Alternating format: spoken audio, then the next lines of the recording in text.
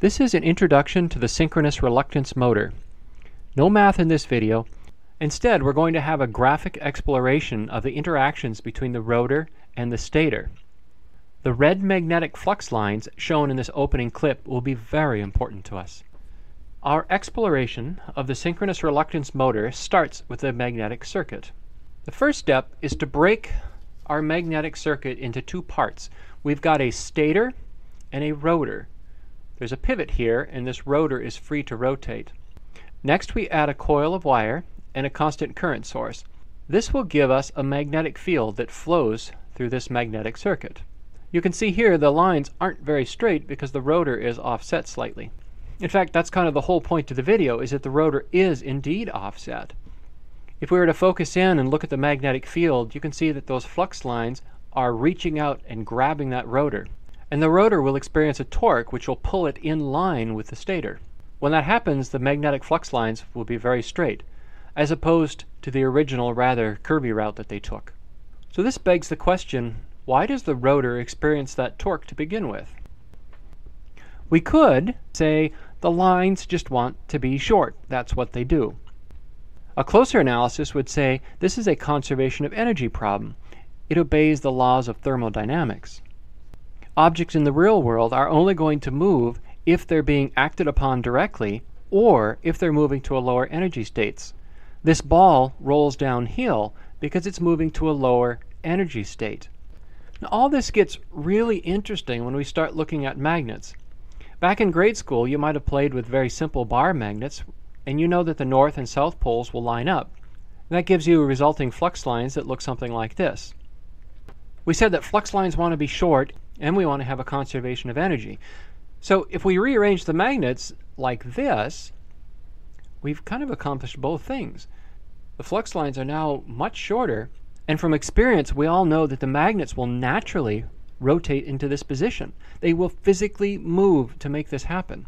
We're forced to conclude that this is the lowest energy state for these magnets. And since you brought up the concept of conservation of energy, we have to ask where did that energy go? Let's see if the answer lies in the term reluctance. After all, this is a synchronous reluctance motor. Here we have the magnetomotive force, we have the reluctance of the core, the reluctance of the gap, and then another device representing the reluctance of the gap. In the circuit, we have the magnetic flux flowing, shown here. We can simplify this by saying the reluctance of the core is significantly less than the reluctance of the gap. Reluctance core effectively goes to zero. Recall that flux is defined as the magnetomotive force, represented here with an F, divided by the total reluctance. When our rotor moves, the reluctance in the air gap is reduced. If the reluctance is reduced, then the flux must increase. And when that happens, we can say that more energy has been stored in the magnetic field. The units for flux, or phi, is Webers. And a Weber is a joule per ampere. And a joule, of course, is a measure of energy. All things being equal, if you have more flux lines, you have more energy stored in the system. Some folks will talk about inductance, and they'll say that when the rotor is aligned correctly, the inductance will increase. Again, that's a fancy way of saying that the energy has increased. Look it up. You'll see that the units of the Henry are joules per ampere squared. Energy. Now that we have a better idea why our rotor experiences a torque, let's go back and try to make it rotate continuously. One way to do that is to add another coil and commutate the coils such that they turn on at the right time. So in theory, this would work. We would be able to turn on the north-south magnets, sometime later the east-west, then the north-south, then the east-west. But it's a horrible motor. It's not self-starting. Just imagine the rotor is perfectly oriented with the east and west poles of our stator. Under that condition, there's no way to start this. Activating the east-west coil will do nothing for you, and activating the north-south coil will do nothing as well, because it won't experience a torque. The rotor is stuck. And even if you were to unstick it by randomly moving it one direction or the other, you have no control over which way it's going to turn. it's just as likely to turn clockwise as it is to turn counterclockwise. However, the concept is good, and if we shift back to that three-phase motor we showed in the opening slide, we're in business. What you see here is a four-pole, three-phase stator with salient windings. Into the stator, we're going to insert a rotor. For starters, we'll just put in a circular core of magnetic steel, which isn't very exciting, but it will allow us to explore what the magnetic fields are doing. For instance, if you turn on the first coil, the blue ones here, that will establish a north-south, north-south poles. The flux lines take the shortest route through the core. And if we activate the second set of coils, shown in purple, we have the same thing again, where the flux lines are taking the shortest route through the rotor. And finally, we can do the exact same thing again with the third set. Once again, we see this pattern where we have arcs across the rotor. These arcs suggest the construction of a rotor. It took a while to construct, but here is a cross section of a rotor that just might work for our system. Before we install it inside the stator, let's test it. This telephone looking receiver thing is going to be our test instrument. It's in a good position now because those flux lines will follow the thick path through the rotor.